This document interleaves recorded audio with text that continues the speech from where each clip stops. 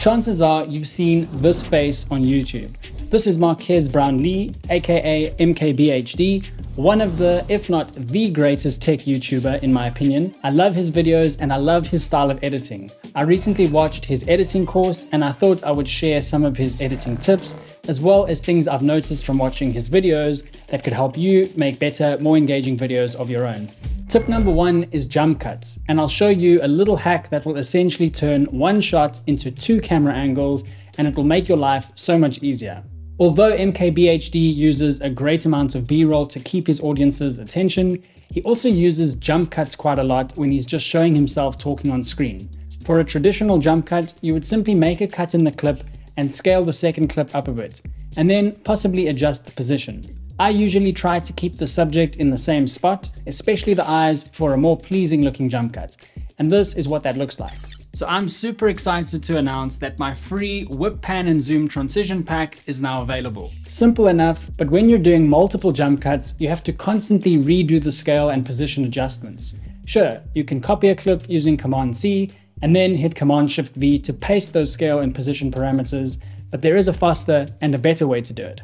Before starting your edit, you need to create a multicam clip. So select your single shot and any other clip you like. It doesn't matter what it is, you just need more than one clip to create a multicam clip. I'll right click and select new multicam clip. I'll give it a name and I'll hit OK. I'll drop the multicam clip onto my timeline and double click to open it. I'll delete this other random clip, select the talking head clip and hit Command C to copy. I'll change the monitoring angle to the second angle and I'll hit Command V to paste. Make sure that the two clips are in sync, and now you can adjust the scale and position of the second clip. I'll click this arrow to go back to my timeline, and now when I go through my clip, I can use the 1 and 2 keys to change between angle 1 and angle 2. So I've essentially created a second angle from the same shot. You can hit Command Shift 7 to open up your multicam window if you need to. The great thing about doing it this way is not only that it's much faster, but if you decide that the second angle is cropped in a bit too much, you can open up the multicam and adjust the second angle. And when you go back to your timeline, all the instances of that second angle have been updated. MKBHD uses a lot of J-cuts to help improve the flow of his videos. If you're unfamiliar with J-cuts, it's basically when you hear the audio of the next clip a little bit before you see the video of the next clip. So that looks something like this. Now, Marques does it a little different, as you can see on screen here. He layers the clips and the timeline gets a little bit messy. I'm not knocking him, the system clearly works well for him. I just like to see all of my talking head footage on one single track, if you will. What I would do is cut my talking head footage up like this, and then I'd select all of these clips and hit Ctrl S to expand the audio. Now I can grab each cut and just drag it forward a few frames to create the J cut. Or I can select the cut and hit the greater than sign on my keyboard to move that cut forward one frame at a time. With all of these clips selected, you can hit Alt or Option T to create little crossfades to smooth out the cuts in the audio. Selecting everything and hitting Ctrl S again will collapse the audio. MKBHD uses a lot of graphics and transitions in his edits to keep them engaging, but also to give the viewer additional information or to point out specific things while he's speaking. MKBHD obviously uses a lot of custom graphics, but he has also partnered with Motion VFX to create an MKBHD pack of effects and transitions, which is currently on sale for Black Friday, and you can get 30% off by clicking the link down below and using the code. Let's have a look at what's in the pack.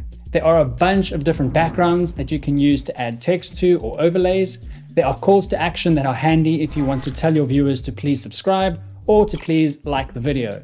The features templates are great if you're reviewing products or software and you can overlay them on screen. There are intro templates if you want to create quick intros for your videos, lower thirds, and other title effects that you've seen throughout this video.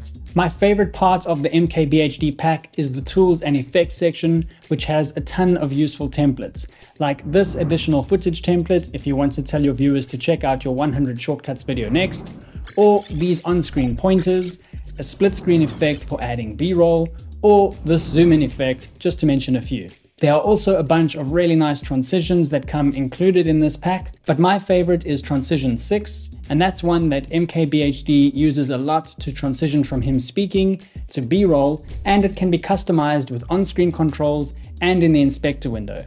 And then you can use it to transition back to the talking head footage. These are all things that MKBHD does, and now you can have these customizable graphics as part of your toolkit too. The great thing is that you can get 30% off this and a ton of other Motion VFX plugins until December 4th using the code BLACK30. So click the link below to check that out.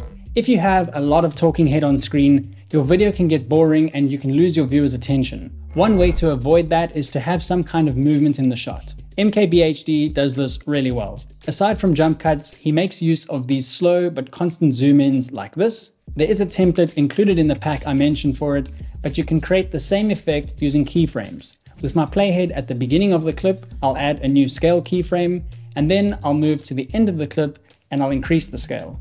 The result is a nice, smooth, constant zoom.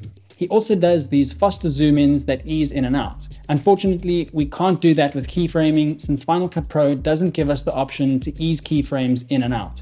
But the MKBHD pack has a nice zoom in effect. There is a free alternative if you aren't interested in the MKBHD pack, and that is another plugin from Motion VFX called MCam Rig. It works as an adjustment layer, and you have loads of different settings to customize it, and you can create a similar zoom in and zoom out movement.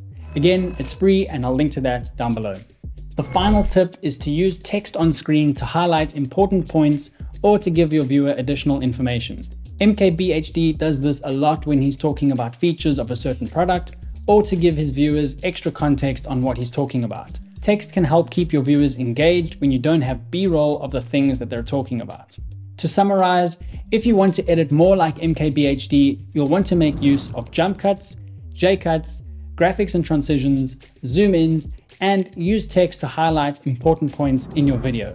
I hope you found this helpful. Don't forget to check out the link down below to get 30% off at Motion VFX, and I'll see you in the next one.